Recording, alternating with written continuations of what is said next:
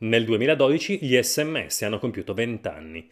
Nell'occasione Pietro Corraini ha progettato per la Moleskine un taccuino celebrativo.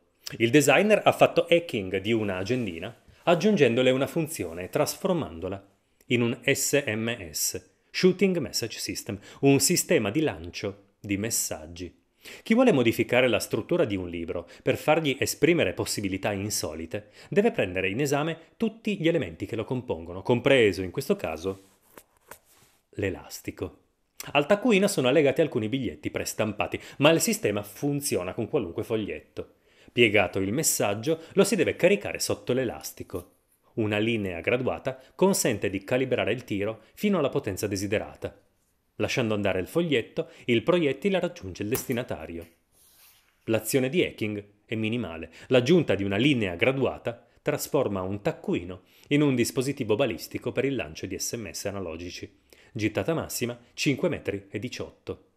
Nel 2013, in occasione del TEDx The Power of Love, Moleskine mi ha incaricato insieme a Ferdinando Buscema di progettare un taccuino collegato all'evento.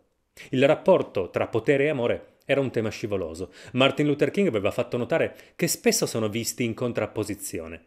Ma What is needed is a realization that power without love is reckless and abusive and that love without power is sentimental and anemic. Dobbiamo renderci conto che il potere senza amore è sconsiderato e aggressivo e l'amore senza potere è sentimentale e anemico. Questa idea della giusta dose ci piaceva, mi riportava ai tempi del catechismo, quando leggevamo le parole di Gesù, siate puri come colombe e astuti come serpi. Il simbolo del power si trova su tutti gli elettrodomestici, è il cerchio con un taglio verticale. Il cuore è un'immagine perfetta per l'amore. Per il giusto equilibrio tra i due abbiamo pensato a un cuore con un taglio verticale. Stampati sulla copertina del taccuino lo trasformano in uno strumento di meditazione.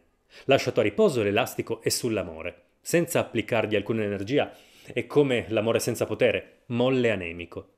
Per collocare l'elastico sul power bisogna esercitare un po' troppa forza. Ma l'abbiamo detto, il potere senza amore è violento e aggressivo.